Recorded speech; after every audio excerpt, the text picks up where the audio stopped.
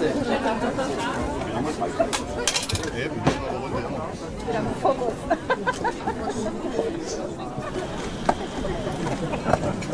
Da ich ihn kenne, mit Schneiden hinterherzukommen, deswegen gleich mal so zwei.